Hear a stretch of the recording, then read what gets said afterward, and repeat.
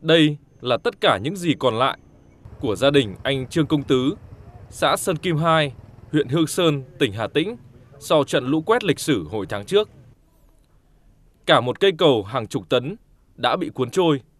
Khu vực trồng cây chắn bão lũ cho đồng chè cũng chỉ còn là những đống đá cuội. Thu nhập của cả gia đình anh Tứ chỉ trông chờ vào một hecta chè, giờ hầu hết đổ nghiêng đổ ngả. Không có bảo hiểm nông nghiệp, anh cũng như những người nông dân khác chỉ biết đi nhặt rác trên thân chè với mục đích cứu được cây nào hay cây đó. Toàn bộ cảnh đông chè này là giờ lũ nó phướn qua này cho nên là giờ cái thu nhập của gia đình thì chủ yếu là cây chè. À, nhưng mà chứ cây chè bị lũ nó cuốn rối thế này rồi thì cũng gặp rất nhiều khó khăn.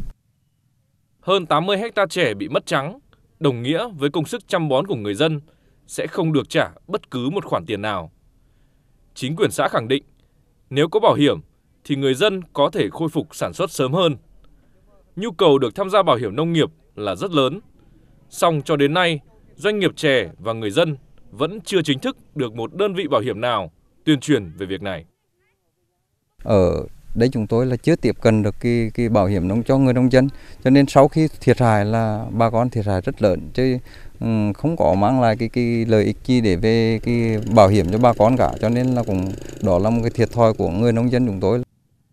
Người dân trồng chè ở huyện Hương Sơn không có cơ hội tiếp cận bảo hiểm là bởi họ không nằm trong ba huyện được thí điểm triển khai chính sách bảo hiểm nông nghiệp, gồm Cẩm Xuyên, Hương Khê và Đức Thọ. Hơn nữa, Sở Tài chính tỉnh Hà Tĩnh cho biết đối tượng áp dụng bảo hiểm nông nghiệp cây trồng hiện nay chỉ là cây lúa. Ngay cả với cây lúa cũng gặp phải những khó khăn khi thống kê thiệt hại. Sở Tài chính tỉnh Hà Tĩnh cho biết nguyên nhân xuất phát từ chính sự hạn chế năng lực cán bộ cấp xã và khả năng áp dụng công nghệ thông tin vào công tác thống kê thiệt hại.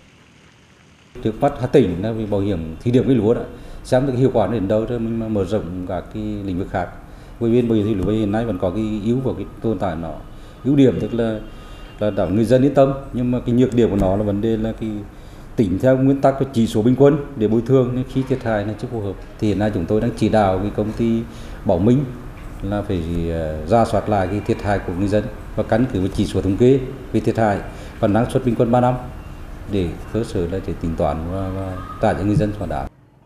Hơn 80% trong tổng số trên 200.000 hộ dân tham gia bảo hiểm nông nghiệp là hộ nghèo và không thể trả phí bảo hiểm ở mức cao. Còn các công ty bảo hiểm thì cho rằng nếu không có sự hỗ trợ từ ngân sách nhà nước thì không thể triển khai bởi tổn thất nông nghiệp là vô cùng lớn. Trong khi nếu tăng phí bảo hiểm thì người dân rất khó để tham gia. Sản xuất nông nghiệp bền vững bao đời nay vẫn là ước mơ của người nông dân Việt Nam. Đất nước đứng thứ sáu thế giới về mức độ chịu thiệt hại bởi thiên tai. Bảo hiểm nông nghiệp, đáng lẽ đã là chính sách để nâng bước cho người nông dân trên con đường hội nhập. Nhưng để chính sách này trở thành hiện thực thì vẫn chưa biết đến bao giờ.